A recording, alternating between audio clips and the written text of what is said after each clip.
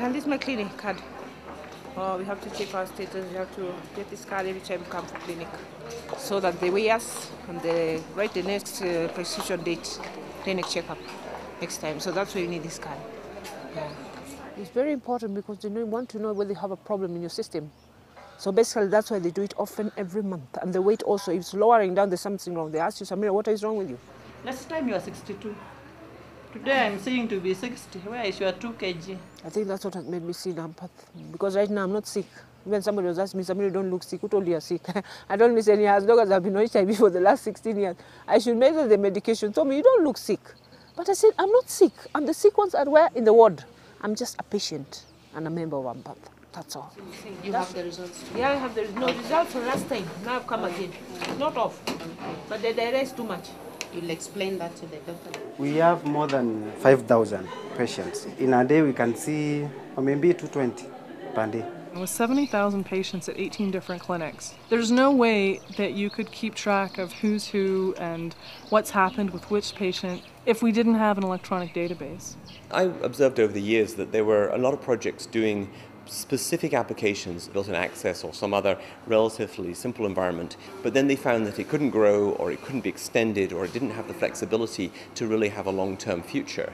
And what we wanted to do was to create a platform in which people could innovate and create really effective tools, but where they're able to actually share those different applications. By providing the interoperability between various systems, a country may pick and choose various components as they see fit or what, which would better suit their application. We call that the open architecture because what we are doing is we're trying to look for um, or define an architecture which is open and which allows those independent systems to interoperate and to create an integrated health system. It's not enough simply to be open source to say, well, this is open source, you can go out and download it. Successful open source projects uh, also involve community, and Paul and Burke and Chris and also Hamish Fraser have done an amazing job in building that trusted community that has attracted lots and lots of developers. All right, so this is the home screen of OpenMRS. So if we want to collect information on somebody's nose hair density, we would have to create a new concept. So how are we going to, going to collect information on that? So we need to add it to a form. So we see it, it does a quick search of our dictionary and past concepts we've put on forms.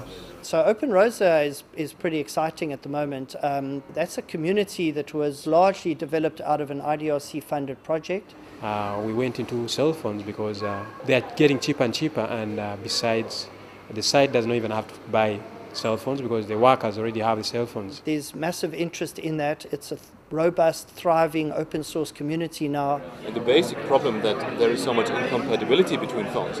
We're trying to kind of get up to scale, but it's going slowly. Here we have just a sample form that we've built. So you see it's a mobile phone interface, like a text message. And we've reached the end of our form, and it automatically prompts you to send the data off to whatever server we've set up to gather it. And it's sending. And that's that. This flies in the face of what people are typically doing right now. And I think there are motivations for that to continue because it's a very profitable endeavor. Diverting all funds, all resources that are key to patient care rather than to the tools that are required to improve, uh, to, for information management is, is the way to go. So we're trying to just show by example and really not trying to focus on talking about it as much as just doing it. You see, initially when it started, they were planning for maybe 20,000 patients, but now it's more. I think we have reached over 100,000. Yeah, it has really changed, and we have so many people attending. Yeah, not only from our catchment area, but even from other districts. And you see, when we are doing the registrations, they are really interested. They want to know that their names appear in the computer. Here is basically where we do the registrations because this is our entry point. We register the patients from this side. There is another data entry room in the AMPATH clinic. So when Chris comes, normally goes there. If we have any problem, this is the data room. AMRS is an implementation of the, of the OpenMRS. AMRS basically stands for the AMPATH Medical Record System. It was just a matter of trying to have a computerized medical record system in rural Africa. When you used to have paperwork, it could take you one week to compile a report and finish. But now, you can do it in a day, and you write all the reports that we send to the Ministry of Health. And the Ministry of Health supports it very much. It will use it for procurement of drugs and for retaining us as health workers. There's a lot of work to be done, and we're seeing a growing community of people that want to be a part of that um, that approach. And so, it's up to us to work really hard towards trying to create the substrate that people can succeed in that.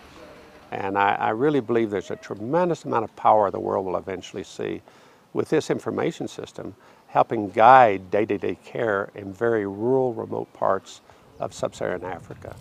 But all in all, I'm perfect. I think I'm perfect. Smart-looking lady, admirable, smiling, which I don't know how I smile. Hmm.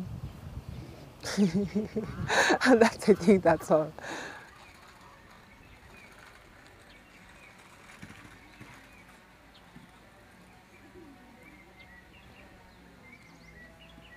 someone else eat?